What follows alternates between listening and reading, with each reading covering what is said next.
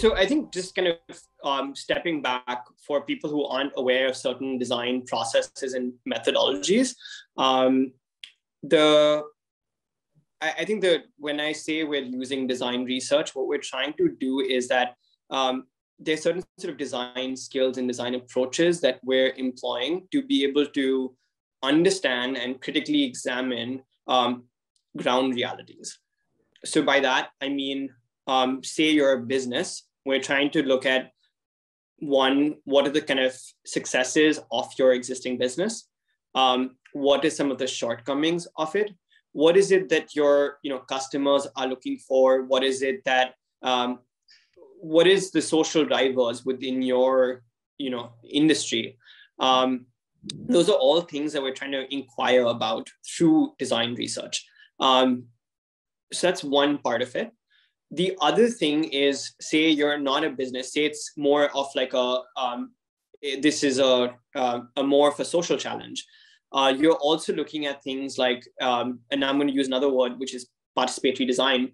You're we've learned through um, through tri- trials uh, that involving i guess the end stakeholder in the process helps you create much more sort of resilient solutions. Um, so we're also one understanding these people's needs, but then we're also trying to see how do we include them in the ideation, and how do we through that solve one you know um, solve things much more efficiently, um, and then also solve things much more holistically. Um, so that's what the design research side of it kind of um, entails. And then the next part of it was um, this is more for um, for profit, where we're looking at UX UI. Um, so you're working with businesses on their tech platforms. Um, and in that space, you're taking again what are what the design learnings are, and then you're saying how does this sort of um, get translated onto a technology platform. Um, and then also what you're doing is you're studying um, one where is technology headed? Um, so you're looking at uh, advancements in tech. You're looking at certain tech trends. And you're also looking at where is the industry today. So say i'm in hospitality. I'm looking at um, what do you call it? The one i'm looking at what are other hospitality players doing? What are certain sort of um, best practices, then what are also innovations in that space. Then I'm also looking at um, the technology landscape. What are new technologies? For example, say I'm talking about chatbots. Um, how do I leverage a chatbot for my business? Um, that's the other thing that we're looking at. And then we're also looking at ground realities. So by that, say now I'm a, you know, I'm, I'm sitting in in with COVID. I, I, don't have COVID, but like it, we're sitting in a world which is plagued with COVID, and we're looking at how do you then, um, as a you know um, hospitality uh, business, how do you use technology in events like COVID or during events like COVID to kind of help drive your business. So those are all of the things that we're looking at from like a UX UI perspective and, and you know like a digital strategy perspective. Um, and then your last question, which was about, I guess, innovation and where is design headed? Um, I think that obviously there's different design verticals and there's different kind of um, design uh, uh, focus areas. For me, I can talk to what I know, which is design for tech. Um, and I think that right now there's uh, there's so many different kind of ways in which I'm seeing this world evolve. One, I think the um, the need for designers are changing.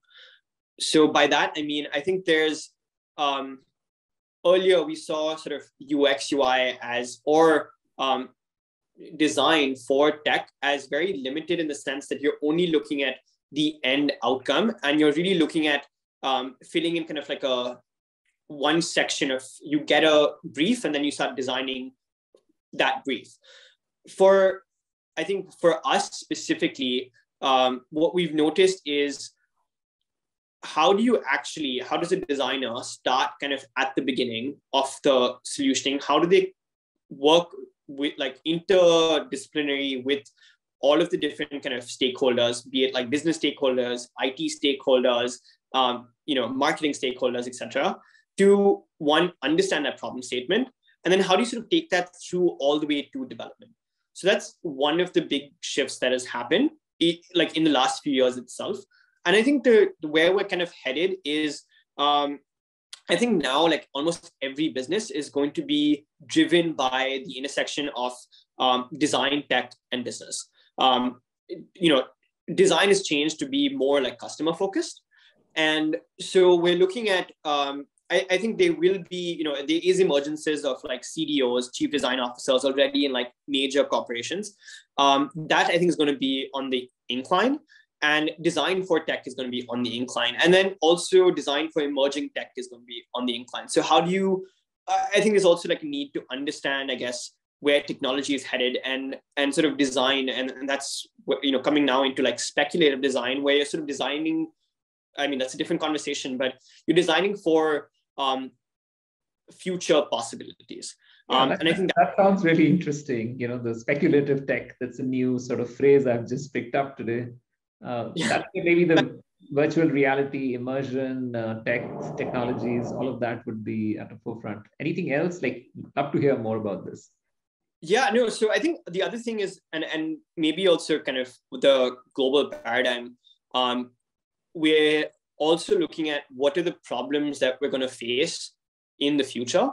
Um, so be it you know environmental issues, be it um, issues of um, migration.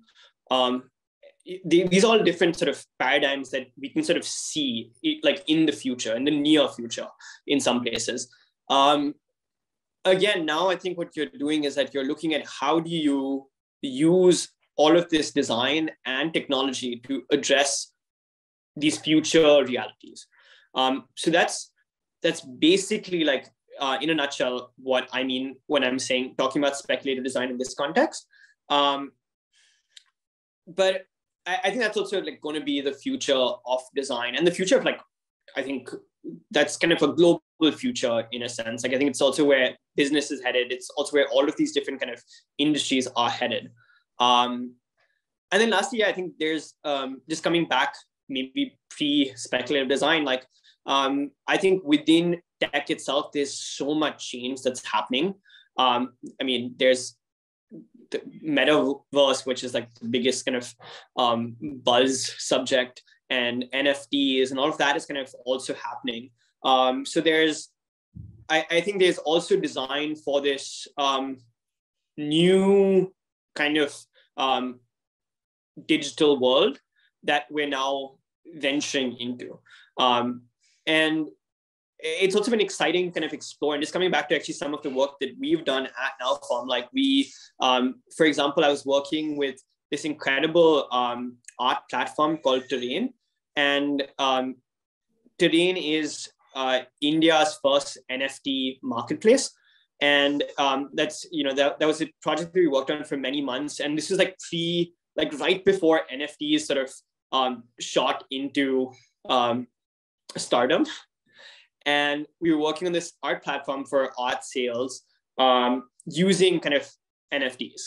Um, so it's also been exciting to really see and, and understand tech to see kind of where the world is headed and then to actually get to work on these things before they become popular.